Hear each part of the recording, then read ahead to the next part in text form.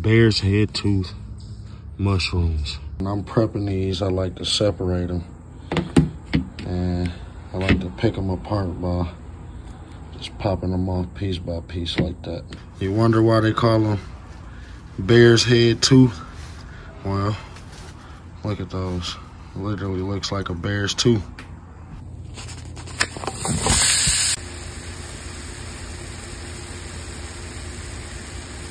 Yeah, that's cooked up perfect and tender ramen. Drop them. Come on, man. You ain't never seen nobody go forage the coral tooth mushrooms, family of the lion's manes, and put together a stir fry that look like this. Come on, man. Adventures with Hayes. This ain't just one day or two days or sometimes this all the time, everyday thing.